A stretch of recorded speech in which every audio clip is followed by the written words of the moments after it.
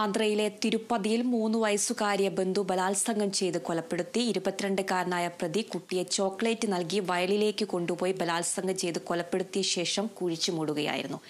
ചോദ്യം ചെയ്യലിൽ കുറ്റം സമ്മതിച്ച പ്രതിയെ അറസ്റ്റ് ചെയ്തു. പെൺകുട്ടി വീട്ടിൽ തിരിച്ചെത്താത്തതിനെ തുടർന്ന് മാതാപിതാക്കൾ പോലീസിൽ പരാതി നൽകുകയായിരുന്നു. ബാലികയുടെ മൃതദേഹം പോസ്റ്റ്മോർട്ടത്തിന് ശേഷം കുടുംബത്തിന് കൈമാറി. പ്രതിക്ക് കടുത്ത ശിക്ഷ നൽകണമെന്ന് സ്ഥലം M L A Khali Prakash Bhanu ആവശ്യപ്പെട്ടു.